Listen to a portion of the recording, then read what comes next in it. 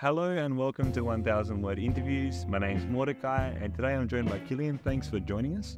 Well, thank you for having me. And first of all, Kilian, could you tell us a little bit about yourself? Yeah, sure. Um, so I'm, my name is Kilian. Um, I'm born and raised in Belgium. Um, I did live in Ireland for two years, um, where I worked as mainly a bartender and worked with a lot of spirits, whiskey, wine, gin. Um, and now I sell wine in Belgium.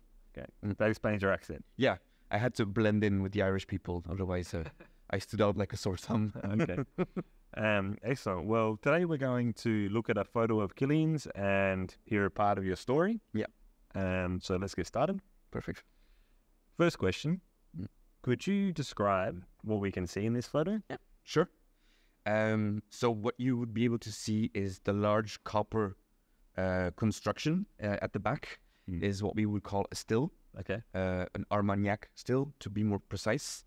Um, so this is like a large, like round tun with uh, a long chimney on top. Mm. And then in front of it, you can actually see another chimney, which is the wooden stove that's attached to it. Um, you can see it's wood because the person in front is throwing small-ish uh, wooden blocks into the red fire. Mm. You can still see the sparks uh, falling out of it. Yeah. Um, actually, in front of the stove as well, you can see uh, a large square box. This is where they would pull out the ashes from the stove and they would drop into the box in front. Mm. Um, then the person who's in front of the stove again is a, a distiller. Okay. You would call that person. Um, he was fairly old, like he still had he had already grey hair.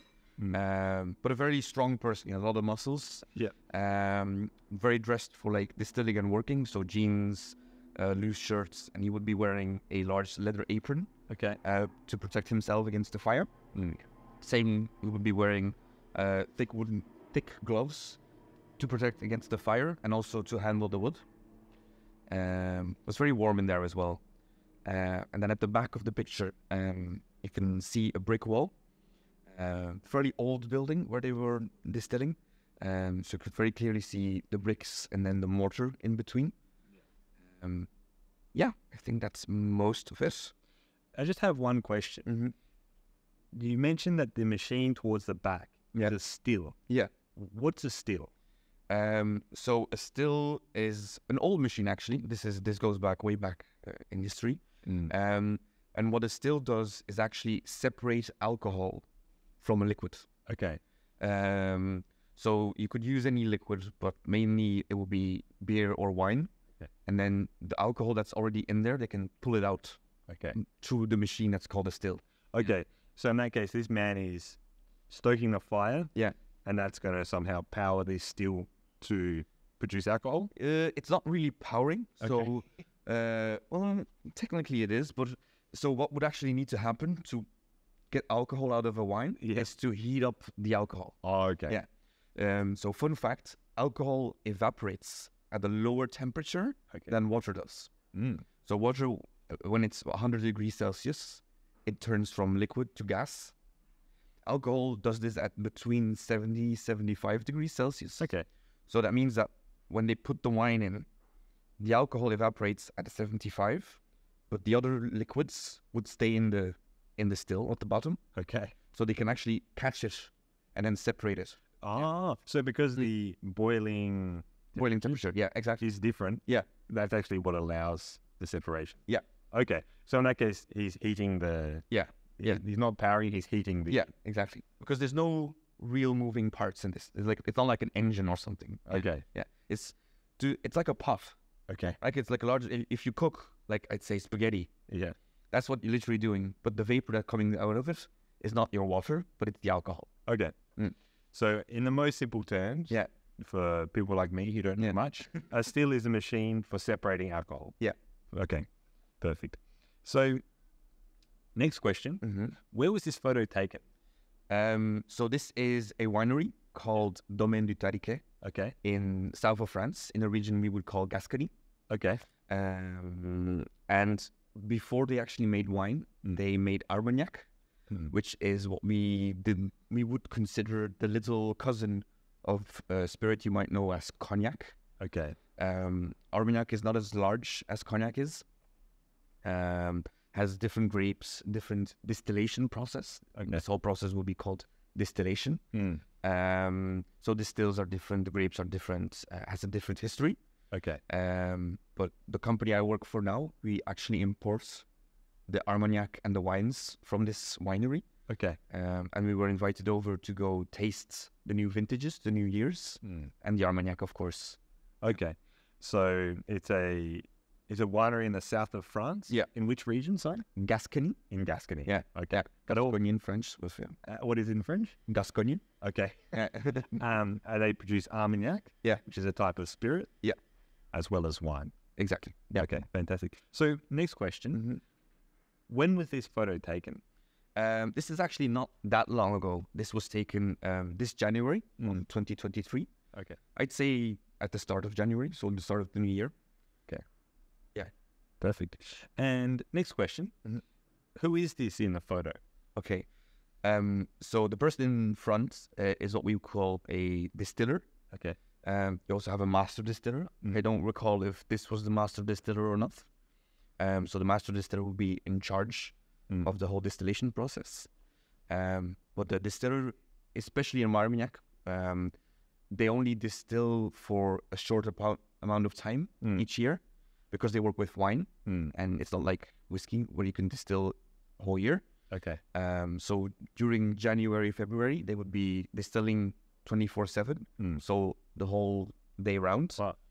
Uh, I'd say the team consists about four to five people. Mm. And every eight hours, somebody would switch out um, the position. And their job would literally be to keep the fire alive Mm. uh, so it doesn't stop. And just checking that uh, the wine goes in, uh, that there's alcohol coming out, that it's not coming too warm, too cold, um, that everything runs smoothly. Okay. Mm. So a distiller in that case Yeah. is the person who distills or who Yeah. produces alcohol. Yeah. This type of alcohol. Yeah. Okay. Um, fantastic. Um, last question Yeah. or last major question. So why have you chosen this photo or what's the story behind it?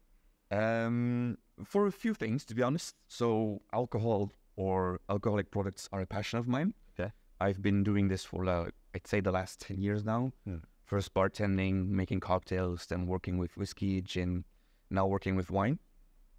Um, I've visited many wineries and distilleries already, um, but this is the first time that I was actually able to be this close to the distillation process Okay.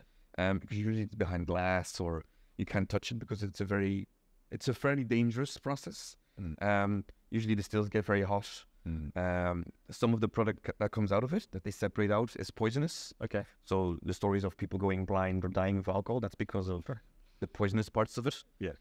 Um, Sounds dangerous. it is. It is. Yeah, but alcohol is a poison. It turns out in some cases. Um, also, this was a group trip, so it was the entire company I worked for. Okay. that went. Uh, it was a very fun day, like visiting the vineyards, uh, watching how wine is actually made, uh, because this is a fairly big company. Um, and then there was a big dinner with a lot of French uh, resellers, so people who would sell this product in France, and then also us, the Belgians, were there who were importing this wine in Belgium. Mm. Um, so it was a long dinner, like with many courses and wine pairing, um, and then finishing off with Armagnac and cigars. And Okay. yeah, the night lasted until I'd say midnight or something. It was it was getting hazy at the end. Okay. It was a long day. Yeah. But it sounds fun. Perfect. Um, well, one final question Mm-hmm. actually.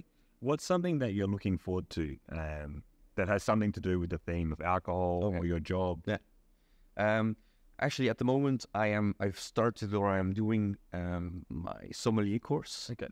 Um, so that's um, to put it in in, in layman's terms, it's uh, a wine expert. Okay. Um, so I'm literally studying um, how wine is made, um, the major regions, major grape varieties, um, and the idea is that with that information, I can pair the right wine with the right dish. Okay. So somebody in a restaurant would be the person you ask, like, I'm having this dish, what wine would you put together with that Okay. uh, to complement each other? So sommelier, Yep. if I'm pronouncing it correctly, Yes. is kind of like a wine expert. Yeah, yeah. Okay. Mainly towards wine and food. Ah, okay. The combination. Yeah. Okay. Ah, right, right. So it's more to do with when you drink wine rather than an expert in terms of production or how Yeah, it's yeah, produced. yeah, yeah. Ah, okay. Yeah. Ah, fantastic. Yeah. Well, thanks so much for, for telling us. Oh, I'm sorry. Thank you so much for coming and speaking with us. Um, and I've learned a lot about alcohol in the process, so it's been fun. Yeah, thank you. I enjoy talking about it, so that's fun too. Okay, perfect. And yeah, thanks again. And as always, you can find all of the res- sorry, try that again. um, as always, you can find all of the questions and responses from today's conversation below in the description. You can also find some of the useful vocabulary and new phrases that we've used today. If you would like to practice your English, you can choose a photo with the theme of alcohol or wine and answer the same questions out loud or else in writing. So thanks again. See you next time. Thanks again, Kilian. You're welcome. Cheers.